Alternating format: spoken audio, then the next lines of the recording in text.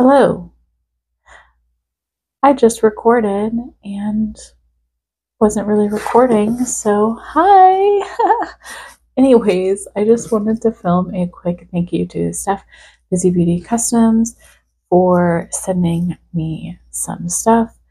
Um, she does customized skincare, makeup, hair care boxes. You can find her on IG and me unboxing like actual stuff from her. But, anyways, she sent me the whimsical escape, and she also sent me the um, adult coloring book of love.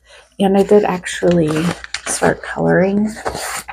Um, I'm not good, so don't judge me. I didn't finish it yet, but I was super stressed out uh, about work, which I'm still really stressed out about. I'm not going to go there, but I was stressed, and so I started coloring, and then my kid joined me.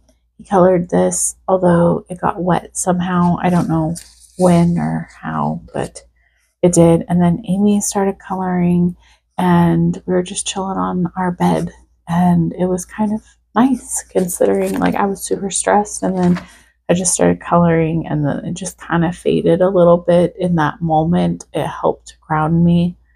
So, and I got to color with my kids and my kid and Amy. So, and she also sent markers. They were all packaged, you know, but I opened them up. Uh, so because we were coloring. But yeah, I just wanted to send a quick thank you to her for sending me this stuff. Thanks, stuff.